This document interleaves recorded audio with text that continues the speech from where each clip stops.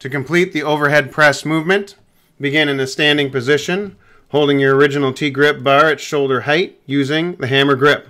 From there, press the bar straight up over your head, then lower it back down to shoulder height.